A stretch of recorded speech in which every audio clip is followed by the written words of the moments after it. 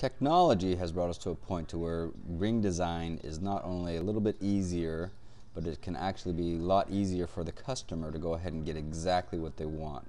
So what I'm going to do here is I'm going to first start by picking a finger size. I'm going to go pick four and a half. Come down here. We're going to actually set that. And that's what we have right here. After that, what we want to do is we want to put some rails up so that we know what it's going to actually follow. And how we do this is we just actually put these little profiles here. And what it does is it tells us where the ring is going to lie within. Then we want an outside curve. We want to give it a little European shank. That's the square bottom shank. And now it's going to follow that area right in there. So let's run a simple sweep. We're going to pick that rail and the outside rail. I'm going to pick these three profiles just so it runs smoothly. Well, we didn't want it closed, so let's do that again. Pick those two. Keep it open.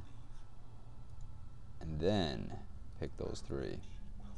There's what we have. And we can actually adjust those very simply by just go ahead and pulling these handlebars out a little bit more. We can go wider, watch it carefully, or we can go back, or we can do any width we want, height we want, does not matter. Next, let's put a stone, let's pick a one carat princess cut, right there is what we have, and let's put a crown around it. As you can see with the head builder, we're going to put that crown there.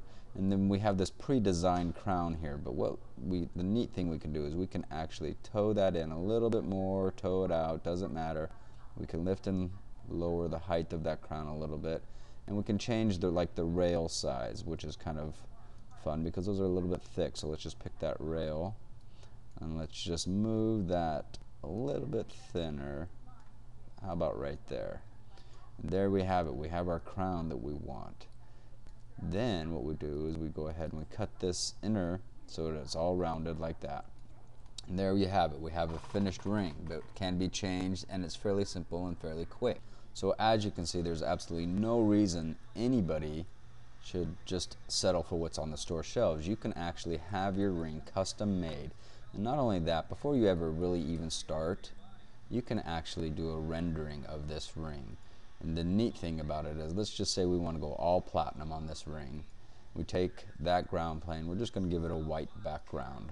So, just simple little color for rendering purposes now only. We're going to take that, we're going to grab the stone, and we're going to make that, oh, let's just make it a diamond, since we're going to talk diamonds and rings. We put that on there, and then we're going to take the metals that we have chosen, the head and the body, and we're going to make that all platinum. We'll pick that and choose that color. Give it some lighting. And then we're going to render this. Rendering takes a few seconds, but the neat thing about this whole thing is you can actually get exactly what you want. You can make those little changes. It's very simple now with the technology. And the biggest advantage of this is a lot of places will sell their rings pre-mounted, which means, hey, you're buying whatever size crown that's in there and you don't have any choices. So here you have your ring. We haven't even carved it yet. This is all computer programming. You can have it the way you want it, exactly how it is.